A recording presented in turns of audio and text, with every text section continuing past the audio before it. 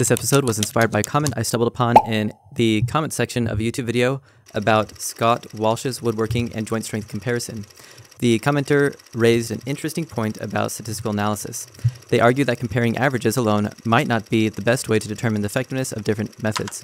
Instead, we should consider the spread of results and whether they follow a normal distribution. They also questioned whether removing the maximum and minimum values from the average was a good idea. I found this comment fascinating as it opens up an opportunity to explore the intricacies of data analysis. Can we take the data at face value, or should we discard it because it doesn't adhere to, norm- to a normal distribution? Was the use of a trimmed mean correct? These questions will be the focus of this video. Before we delve into statistical analysis, let me provide some background on the test. Scott Walsh conducted various joint strength tests using a machine to pull apart joints. The metric was simple how much force does it take to break a joint? He used five samples per joint and calculated the average after removing the minimum and maximum values. I want to cover three points in this video. First, was excluding the maximum and minimum values from the average a bad idea or incorrect? Two, what can we test with this data? Since there's only five samples, can we come to any conclusions? Or is five samples really not enough to know if any joint is really stronger than another?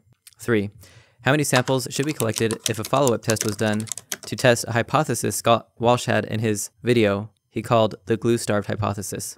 Now, I understand that statistics can sometimes be overwhelming, but uh, this is not your fault. I, I, believe that the current approach to teaching statistics is flawed. I won't go into depth in this video, but if you want to reteach yourself what a hypothesis test is and a p-value, I, I suggest you check out my video called P-values, beer, and mosquitoes.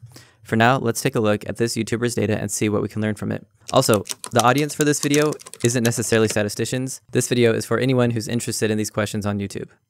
Alright, was excluding the max and min values from the average bad? Let's address this question first. The max and min values were excluded from the average. Is this incorrect or a bad idea? No. Before I go into details about why removing the min and max values isn't incorrect or bad, let's first take a look at the data.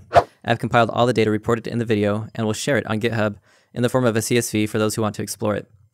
There are 8 joints and 5 samples per joint, giving us a dataset with 40, 40 rows. I can thumb through the rows to get a general sense of the data, but I might want to know something about uh, what the general takeaway is. Some people might ask, what is the data saying? But uh, this is the wrong question. Data doesn't say anything. It's up to the analyst to tell a story. So what's the story here? This is where the trimmed mean comes into play. One may argue that trimmed means are bad because they discard the spread of the data. However, if this were true, then we should never trim, trim the mean. This would mean that we should discard the median. Why should we discard the median? Because a median is a trimmed mean when 50% of the data is trimmed. That means 50% over, 50% under, leaving you with just a single point, the median. You can think of it as a spectrum, where the mean is on one end where no trimming is going on, and the mean and the median is on the other. The trimmed mean is somewhere in the middle. You can control how much of the trimming you want to apply. If I had to choose between a mean, a median, or a trimmed mean, I would definitely pick the trimmed mean in this application. This is because the median is just too trimmed and the mean is not trimmed enough, and there were some outliers that needed to be addressed. So let's give Scott Walsh a gold star there. As a Side note, a trimmed mean isn't the only option. We could have also gone to a Winsorized mean. This is where we replace extreme values with the next largest value. This is a common practice in data analysis as well. You may be thinking, how are you allowed to just change data like that? Well, we are not changing the data so much as we are making a transformation to the data uh, that is more robust to outliers while still preserving the sample size and taming the extreme values. Trimming and Winsorizing are both valid options. In this case, I think either option would be fine. Now you may be wondering, if I can just remove data or change values, why do I even need to collect data in the first place? Good point. Let's talk about that. Scott Walsh did one thing that made all of this okay. He showed all of the data. Showing all of the data keeps the dialogue open. Other people can take the data and do their own analysis, or check his work, or push back if they think something was done incorrectly. This is kind of like a first commandment of data analysis. Share all of your data. Not just the average, not just the median or the trimmed mean. Show all of the data, always. So that was a lot of talk about trimmed means and Winsorized means for summary statistics or summary metrics. Now let's talk about what we can test with the data. So what can we actually test or what can we know from this data? So again, there was only five samples per joint. Uh, can we really say that one joint was stronger than another with this data? Well, uh, to answer this, we have to go to p-values. So given this data, let's calculate some p-values. Disclaimer, in no way was Scott Walsh trying to do a hypothesis test. He was just showing that all joint, joints were strong enough for the hobbyist woodworker. But I'm going to put my neck on the line a little bit and make some risky arguments with this data. Specifically, I'm going to make an inductive argument. If you don't know what inductive arguments are, and what makes them special, then I suggest you check out my video, p-values, beer, and mosquitoes. Please. So maybe you've heard of p-values in the past, maybe you haven't. Maybe you've had a section in statistics about t-tests in school. In this course, you probably learned about p-values and the need for data to be independent and identically distributed. Sometimes we shorten this to IID. You may have even used a complex equation to calculate the t-statistic, degrees of freedom, and compared the t critical values to determine whether to reject or fail to reject the null hypothesis. This is a lot of work and is not necessary in the computer age. We can use permutation tests instead. Hopefully, this example will show you how easy it is to do statistical analysis on your own data without having to remember the exact formulas and associated assumptions.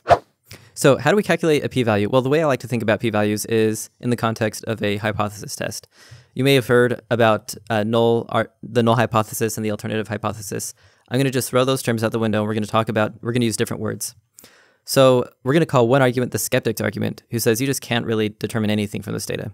And we're going to have another argumenter called the optimist, who thinks that there is something that you can say from this data. So let's take a look at what a skeptic's argument would look like in this case.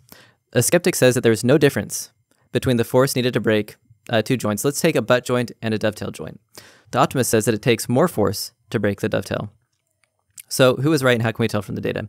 And is the mean really sufficient? Well, we're going to have to do something more than just uh, compare the means. Uh, there is some truth to the comment that the commenter said on Scott Walsh's YouTube video. There is something to be said for the spread of the data. And so how do we take that into, into account? Usually the t-test would help you take this into account, but we are going to use computers to do the heavy lifting. If the skeptic is correct, then the labels we put on the data are arbitrary. So we can say some of the butt joints were dovetails and some of the dovetails were butt joints and recalculate the difference in force it took to break them. If the labels really are arbitrary, like the skeptic would believe, then we should be able to see that the original mean difference is very common. It's not really an extreme value. If the optimist is right, then the labels are not arbitrary. And we should see that the original mean difference that we get from the raw data is in fact pretty rare. Either we just observed some very rare phenomenon, or the skeptic would have to admit that in fact there is a difference between the strength of the joints. This probability that we observe a mean difference greater than the original difference is called the p-value. Now you may say stop. You can't calculate a p-value on the data if it's not normally distributed. Also, in my Stats 101 class, I learned as a rule of thumb that you need at least 30 samples to calculate a p-value. So let's go to that first point. You do need a normality assumption if you're using classical methods. For point two, you do need a larger sample size to detect smaller differences in force. The 30 samples rule of thumb is just that, a rule of thumb. The force differences are large enough that we can get away with a smaller sample size. We would not be able to do the same if we wanted to know if one joint was just 1% stronger than another.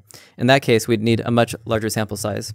And this is true in general. When you want knowledge about something that's very detailed, you have to come up with a larger sample size. That's just the cost of that knowledge. But when things are fairly obvious, and most people would agree, even without the statistics, that they are different, you don't really need a large sample size. Now, I will talk more about how to calculate the number of samples we would need to do some more hypothesis tests later on. So if you're interested in doing your own experiment but don't know how many samples you need to collect, stick around until the end of the video. So what can we test with this data? We can really test whatever we want. I just showed an example of how to test if a dovetail is stronger than a butt joint. We found a p-value of 0.031. To me, this is more than enough evidence to say the skeptic does not have enough ground to stand on. Dovetails are stronger than butt joints. If you want to test other things, then go for it. I think permutation tests are better for people who are new to statistics because they involve much less formula memorization and you gain intuition about what kind of data makes a hypothesis fail. All right, let's hit point number three. How many samples should be collected if a follow-up test was done testing the glue-starved hypothesis? In the video, Scott Walsh mentioned that his box joints and dovetail joints broke at a much lower force than he expected. They're much weaker than he thought they would be. His thought was that he made his joints so tight that there wasn't much room for the glue to hold the joint together. So how many samples should we collect? We would need 50 joints, which is 25 joints per group. What are we testing specifically? We are testing if either a box joint or a dovetail joint that is not glue starved is at least 200 pounds per square inch stronger than the glue-starved alternative. I will hand wave the details for how this calculation works. Essentially, I run the same permutation test as I did above, but I put the permutation inside of a loop which tests different sample sizes from 5 to 65. Then I see what the chances are of making a false positive error and a false negative error with different sample sizes. I then pick the smallest sample size that will give me at least a 95% chance of avoiding false positives. My power is set to 80%, which means there is an 80% chance of accurately detecting a true effect or difference. I hope this video was helpful in answering some questions about some general basic statistics and how to use computers as a replacement for formulas and memorization uh, to do your statistical analysis. Thank you very much. Thanks for watching.